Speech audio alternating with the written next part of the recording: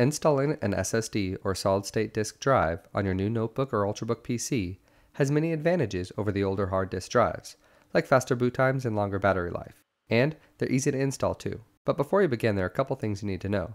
First, if you're installing an SSD in a new computer, the setup will be a breeze. Just make sure that you have the install disk that came with your computer. Otherwise, you'll need to backup or clone your existing drive.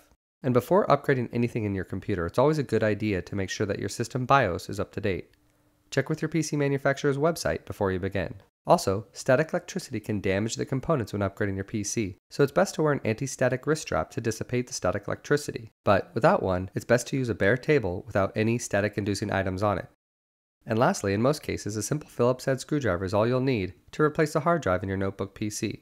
But we find one of these long-nosed tweezers helpful too. With your computer shut down, remove the power adapter and the battery.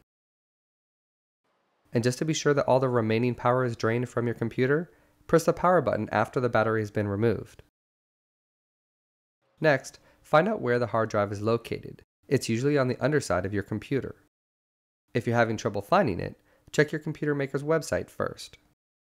Now, unscrew and remove the cover. At this point, you should have a good view of the old hard drive in your computer. Each system will be slightly different, but carefully remove the screws and maybe even a supporting bracket if you have one like we do, holding the drive in place. Disconnect the SATA and power connector or cable, usually by sliding the drive away from the connection, and remove the drive from the bracket and set it aside. When installing the new SSD drive, it's important that the SATA and the power connection is securely connected.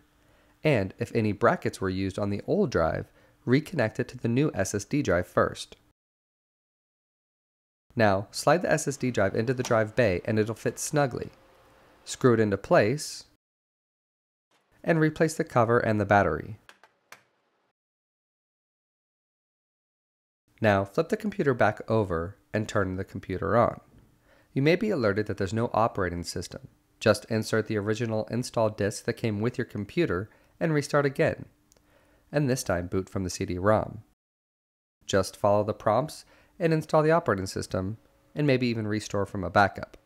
And that's it. If you have any additional questions or need additional help installing an SSD in your computer, please contact www.kingston.com forward slash support for more information. Thanks for watching.